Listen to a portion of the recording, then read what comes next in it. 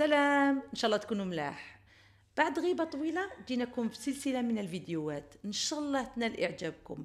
الهدف منها هو نطوروا من نفوسنا ونكونوا أولياء إيجابيين. راح نقدم لكم لقطات ليوميات صعبة على أسرة تعيشها مع أطفالها. راح يكون فيها تشخيص للمشكل ومن خلال ذلك راح نقدم الحلول. ما تنسوش اللي يحب هذا النوع من الفيديوهات يشترك في القناة ويضغط على زر الإعجاب. شكرا.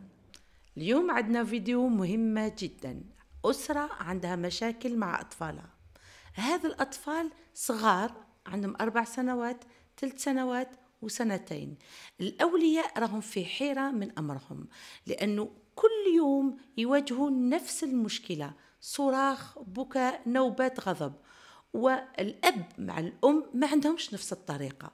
كل واحد فيهم اختار استراتيجية معينة باش يواجه بها هاد الأطفال الأم تركت quelque part الحزم والصرامة والأب متمسك بهاد الصرامة وهاد ال profil تاع le parent strict Objectif, que la famille retrouve du calme et le bonheur de vivre ensemble. Allez Anne-Sophie, détendez-vous, amusez-vous avec vos enfants un peu. Mais au fil des jours, Sylvie va faire d'étranges découvertes Comment embobiner votre enfant et se sentir bien seule. Elle est en train de faire caca là. Tout le monde s'en fout. Vous n'êtes pas attentive et voilà le résultat, voilà, voilà. Réussira-t-elle à mener à bien sa mission Maxime va donner la douche. Entièrement Bah, entièrement. Vous voulez les doucher quoi le, Juste les doigts de pied? C'est un papa qui me perturbe, il est déroutant. Les parents vont lui donner du fil à retordre. Qu'est-ce que vous faites de vos journées Rien. Voilà. En fait, ici, il n'y a pas trois enfants, il y a cinq enfants. لازم نفهموا حاجة هذه الأسرة وعلاش راهو عندها آه، يومياتها فيها كتير من المشاكل لأنه كما شفنا كاين ثلاث أطفال وهاد الأطفال ما كانش بزاف بيناتهم تباعد والأم مع الأب يعني نقدر نقول الأم مع الأب راهم يلقاو صعوبات خاصة عندما جاهم الطفل الثالث بمعنى أنه ال- الحمل كتر عليهم Dès l'âge de 3 semaines, la petite dernière enchaîne les bronchiolites.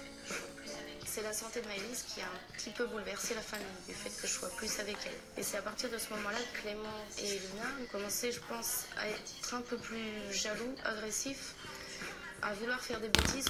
في حالة هذه العائلة اتطرقت الأم إلى نقطة مهمة.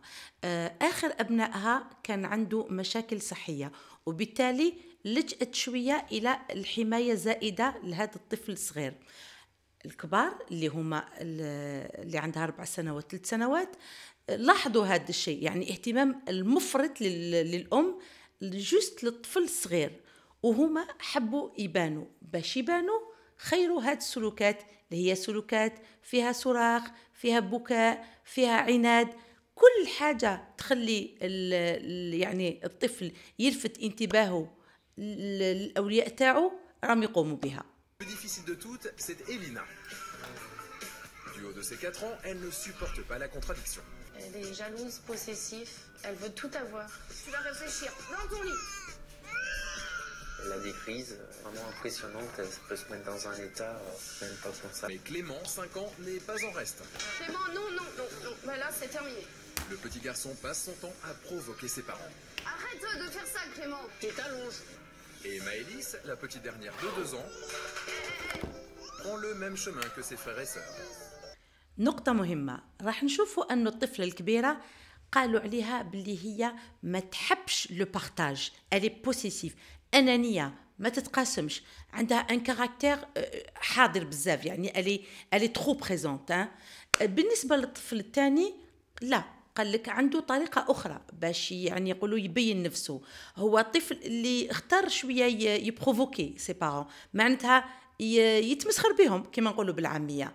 آه، يعمل شوية آه، سلوكات مرات آه، تخلي ال- الأم ولا الأب يخرجوا عن طوعهم. هذا c'est un provocateur الطفلة الصغيرة واش راهي دير راهي تعاند وهذا le profil نلقاوه tout le temps نلقاوه دائما في الاولاد يعني آه، الطفل الصغير يقعد يعاند في خوته الأخرين خاصة السلوكات السلبية هكذا واش تحبوا Aujourd'hui, avec trois enfants en bas âge à la maison, Anne-Sophie est complètement dépassée. Stop. Non. Allez, gagné. Ce qui m'épuise, c'est les crises, le bruit. Ça crie tout le temps à la maison, du matin 8h au soir 23h. C'est l'enfer. Maman, je dois prendre l'air parce qu'elle en a marre de vous. Face à cette situation, la maman se sent de plus en plus démunie. Debout, t'es lourd. Elle n'arrive absolument pas à se faire obéir. Ramasse. Ramasse. Elle n'a aucune autorité, euh, cette maman. Hein. Tu laisses allumer. حاجة لازم تفهميها في التربية عندما تكونش عندك سلطة ما عندكش حضور ما عندكش نوتوريتي ما تقدريش تنجحي في تربية أبنائك Anne-Sophie, va falloir apprendre hein, si on veut se faire respecter. J'ai lâché totalement l'éducation. Non, si. J'arrive pas à trouver la manière de les gronder pour qu'ils euh, m'aiment toujours et qu'ils me voient pas comme une ennemie. Non, mange pas avec les doigts, t'es dégoûtante. Papa doit se débrouiller tout seul. C'est n'importe quoi, ça. Au coin. Et tu bouges pas. J'ai l'impression que maman euh, donne le rôle du gendarme à ce papa. Tu vas faire dodo. Aïe, aïe, aïe. Mais les méthodes de Maxime n'ont pas l'air كذلك ملاحظة مهمة جدا ما يقدرش واحد يكون مرخي وواحد يكون مزير لازم كل واحد فينا يكون ال ال يعني يقدم آه، ال- الأدوار تاعو بطريقة متزنة. معناتها وقت لازم نكون صارم صارم ووقت نكون آه، آه، عادي مع أطفالي. يعني ما كانش مشكلة اللي تخليني نكون ان جوندارم كما يقولوا. معناتها الأم هذه اللي راهي في هذا ال- الفيديو مخلية دور الصرامة ودور ال- الشرطي للأب ماهوش هذا هو الحل وهذا لو يخلق لنا هاد ال ال نقولوا هاد السلوكات ال- ال- المضطربه داكوغ.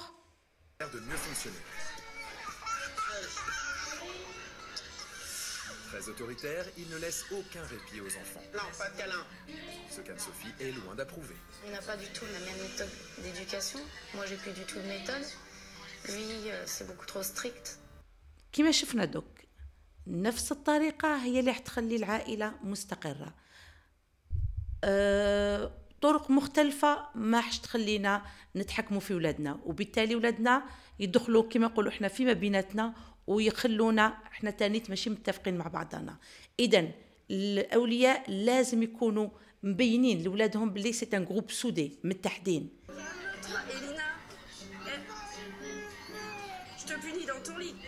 Eh, tu vas aller au coin, ça changera. Tu vas choisir le coin. Tu veux lequel Vous allez la punir et vous lui demandez de choisir le coin ben, Un coin que je suis sûre qu'elle va rester. اي اي اي عندي ما نقول على العقوبه كثير من الناس يحبوا آه، يمارسوا العقوبه ولكن ما يعرفوش كيفاه اول حاجة علاش نلجؤوا للعقوبه باش ما تلجئيش للضرب هكذا بصح كي تمارسي العقوبة لازم تفهمي باللي أول حاجة لازم تكوني واثقة من نفسك. ما تخافيش من إنه لجأتي للعقوبة ما يحس والو للطفل. بكاء الطفل كيما آه، كي تمارسي عليه العقوبة ما راحش يهلكو. تاني حاجة ما تكسريش ما تحبسيش عقوبتك. حتى الطفل اللي حسيتيه ما راهوش آه، يعني آه، يخضع ولا ما راهوش ياخذ لك الراي نورمال انت كملي في العقوبة تاعك وسيي كل يوم ما تخليهش يخير نوعية العقوبة ولا مدة العقوبة. داكوغ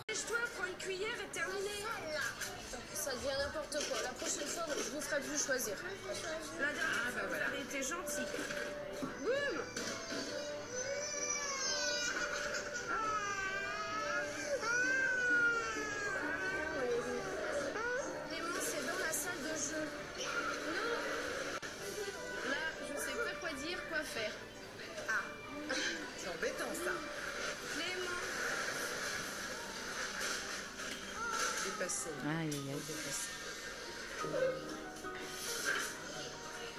انتهت ببكاء الأم.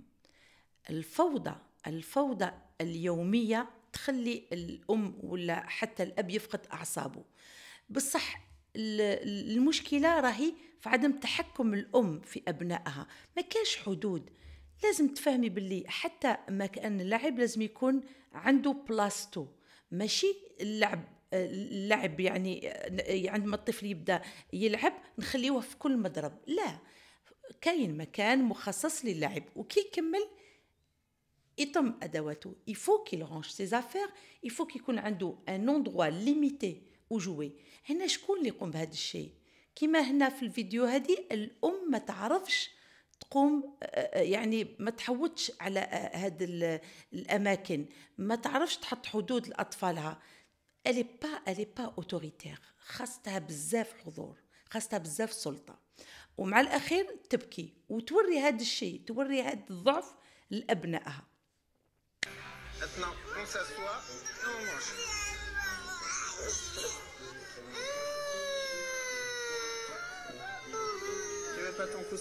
choix. ما كانش مشاركة. هاد العائلة رانا نشوفوا فيهم آه، يمشيو آه، في يعني طريق مسدود. الأطفال يأكلوا وحدهم ويوروا لهم باللي هاد الوقت هذا آه، راهو مخصص غير ليهم ولازم يجبروهم على الأكل.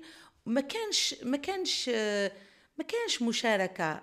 الوغ كو لازم أطفالنا يتعودوا أننا نحن أسرة إذا كاين أم كاين أب وكاين أطفال يقعدوا كامل حول يعني المائدة ويتناولوا هذا الفطور ولا الغداء بطريقة يعني بسيطة هادئة.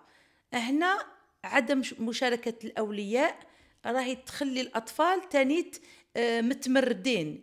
ونشوفوها طوال اليوم هذا يعني هذا التمرد نشوفه طوال اليوم. ولكن أثناء الأكل وأثناء النوم راهي آه، آه، تندر بطريقه يعني آه، عنيفه جدا Comment ça se passe, euh, votre petite sœur avec ses enfants Elle est un peu dépassée. C'est vrai que trois enfants, c'est très très dur. Mais après, c'est une organisation à prendre, une gestion à prendre. Et une fois qu'on est dedans, c'est impeccable. Et sinon, euh, qu'est-ce que...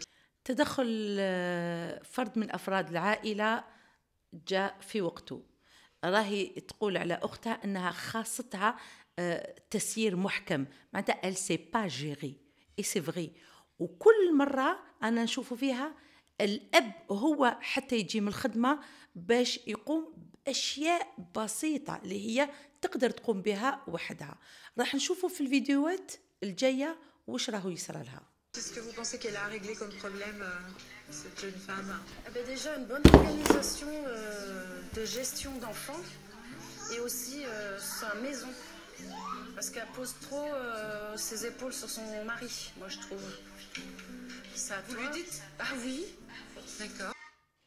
تقاسم الأدوار. هنا راهم يعني يزيدوا يعطوا آه آه نقولوا حنا les points sensibles راهم يمدوا لنا les failles وشنو هي مشكلة هذا الأم؟ الأسرة هذه ما كانش تقاسم أدوار بطريقة جيدة.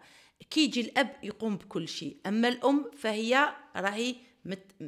كما يقولوا منحيه نفسها حضورها فقط آه، يبقى حضور شكلي Je suis plus fatiguée quand il y a des crises que quand. Mais fatiguée de quoi Ils sont de 8, euh, 8h30 le matin, ils sont à la cantine et vous les récupérez à 18h30 le soir. Vrai ou pas vrai Oui.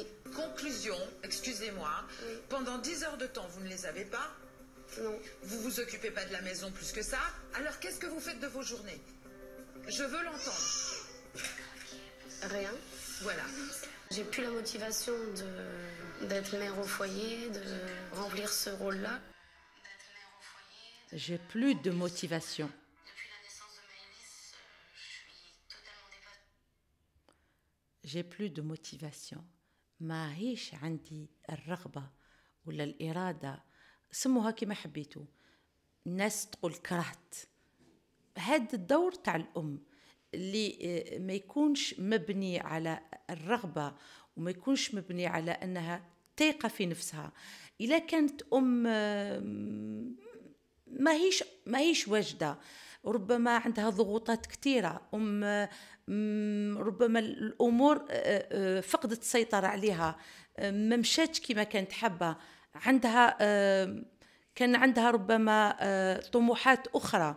اذا elle se trouve dans un engrenage. هاد ال- ال- الأزمة اللي تمر بها الأم هذا هو اللي راه يخلي تربية الأبناء صعيبة. وبالتالي الأمور آه، نقولوا حنايا خرجت من من السيطرة. وتمرد الأطفال وسلوكات اللي رانا نشوفوا فيها ما هي إلا نتيجة حتمية. اذا كأم واش نقدروا نقولوا لها؟ الأم اللي ما راهيش قادرة تأدي دورها لازم نقولوا إحنا تحبس تحوس على المساعدة آه، تتكلم ما فيهاش عيب. لازم نلقاو آه، كما يقولوا إحنا حلول لعمرتنا إذا ما راناش قادرين ولا شايفين آه، المهمة اللي رانا فيها ماشي هذاك واش حبينا يليق نعاودوا ن- نفكروا كيفاش نعاودوا نلقاو آه، آه، رغبة وإرادة لأن تبقى مسؤوليتنا تربية الأبناء تبقى مسؤوليتنا وما نقدروش نعاودوا نولوا اللور نبلعوهم. ها هو المشكل. اذا باش تواصلي يلق تلقاي حل مع نفسك.